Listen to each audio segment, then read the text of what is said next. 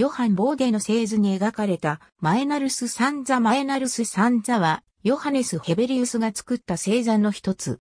現在は使われておらず、牛飼い座の一部となっている。1687年にヘベリウスによって牛飼い座の足元に設けられた。ペロポネソス半島のメナロ山をモチーフにした星座で、牛飼いが山頂に立つ形になっていた。知名度が低く、ほとんど使われなかった。メナラオ山の名の由来となったマエナルスは、ギリシャ神話に登場するアルカディアの王リュカオーンの長男、またはリュカオーンの娘カリストーの息子アルカスの息子であるとされる。アルカスがアルカディア地方の生まれであり、牛飼い座のモデルともされることからこの山が選ばれたものと考えられている。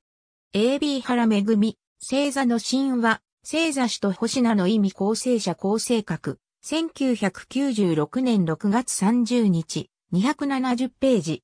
ISBN 4から769908-253。AB リチャード・ヒンクリー・アレン、スターネームズ、ゼアロアミーニング。ビル・セア、2014年5月10日閲覧。AB イアン・リドパス、スター・テールズ、マンズ・ミナラス。2014年5月10日閲覧。ありがとうございます。